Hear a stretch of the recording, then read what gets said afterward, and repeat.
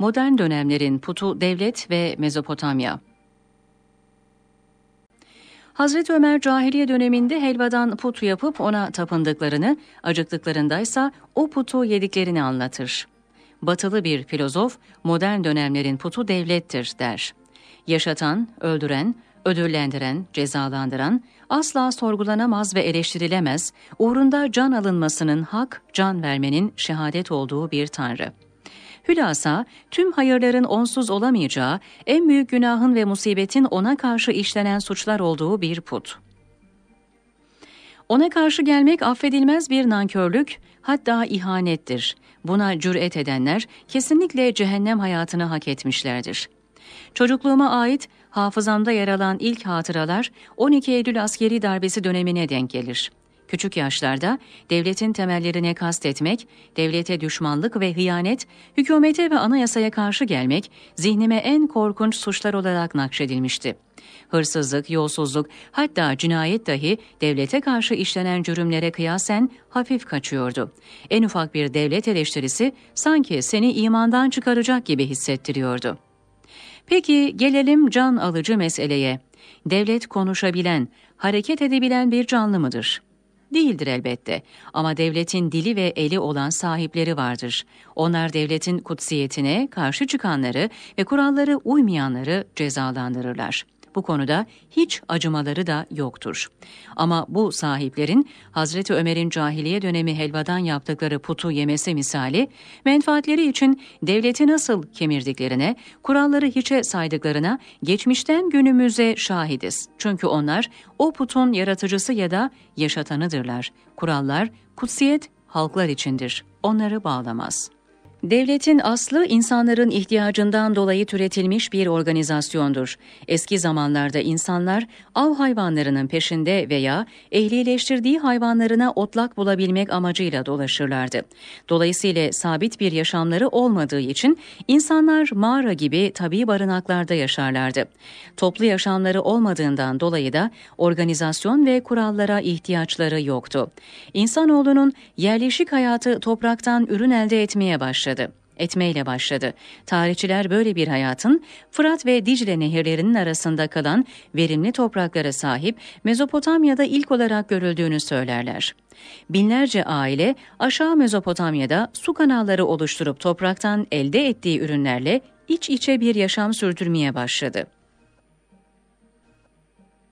İlk evler çamurdan mamül yapay mağaralardı. Zamanla güneşte kurutulan yapı malzemeleriyle daha düzenli meskenler oluşturdular. Böylece ortaya ilk şehirler çıkmıştı. Toplu yaşamın ortaya çıkardığı ihtiyaç ve sorunlar herkesin kendi halinde yaşamasının mümkün olmadığını gösterdi.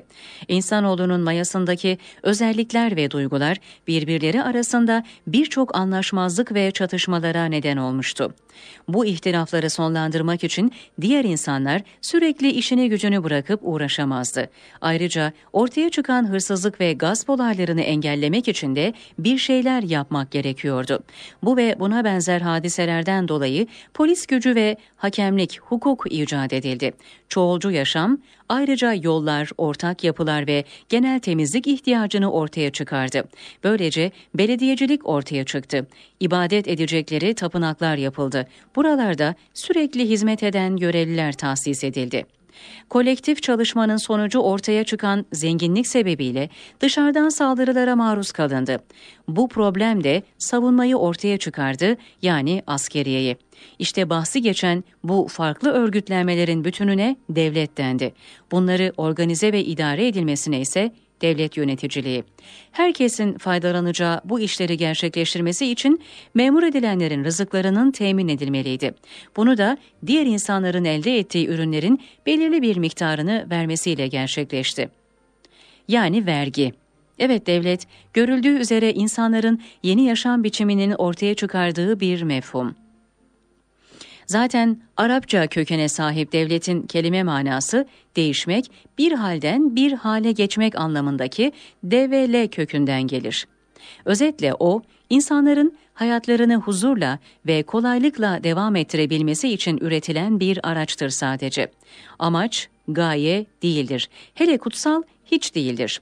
Yaradanın eşref varlığı insanoğluna tabiatın tüm unsurları gibi devletin hizmet etmesi tabii olandır. İlk devletin ortaya çıktığı Mezopotamya bugün Irak devletine ait. Bu bereketli topraklara modern dönemde yeraltı zenginlikleri de ilave olmasına karşın bugün Irak halkı epey fakir durumda. Zira devletleri halkın ekonomik kalkınmasını öncelemedi. Bir diğer petrol ülkesi de İran devleti, ülkenin zenginliğini adaletle halkına yansıtmak yerine silahlara ve Orta Doğu'da yayılmacı politikalara harcamakta.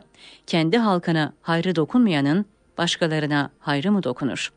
Bereketli topraklara sahip bir diğer ülke Mısır'da milyonlarca insanın fakirlikten üstü kapalı mezarlarda yaşadığı bilinmektedir. Nüfusunun yarıya yakını günlük 2 dolar kazanmakta. Atom bombasına sahip olan Pakistan'da halkın yaşam çoğu yaşam sınırının altında yaşamakta. Ayrıca bu ülkeler ve benzerlerinin halkları sadece ekonomik açıdan değil, bireysel hak ve özgürlükler konusunda da perişan haldeler. Her ne kadar siyasal otoriteleri ve sistemleri değişse dahi bu halkların kaderi değişmemektedir. Buna sebep iç dış birçok faktör sayısa da en önemli nedenin devlet algısında olduğunu düşünüyorum.'' Artık devlet kavramına amacının dışında atfedilen payelerin istismarlara kapı araladığını fark etmek gerekiyor. Halkların bilinçaltlarındaki devlet tabusunun temizlenmesi lazım. Ancak böyle devletin aslına rücu ederek insanlara hizmet etmesinin önü açılabilir. Tabii ki her tabu gibi bu köklü anlayışın yıkılması kolay değil. Mezopotamya'da bahis geçen yaşam, sonrasında yozlaşmış ve yaşamı kolaylaştırmak için tesis edilen devletin baş yöneticileri Tanrı ilan ilan edilmişti. Onlardan birisi olan Nemrut'un vesair putların ilahlığını reddeden ilk kişi ise o sistemin destekçilerinden birinin oğlu olmuştu. İbrahim aleyhisselam. Babası tüm toplumun kabul edip boyun eğdiği putlara karşı çıkan oğluna ''Ey İbrahim'' dedi. ''Sen benim tanrılarımdan yüz mü çeviriyorsun? Eğer vazgeçmezsen andolsun seni taşlarım. Uzun bir zaman benden uzak dur.'' Anlayacağınız işimiz uzun ve zor, diyor Samanyoluhaber.com'daki yazısında Eyüp Ensar Uğur.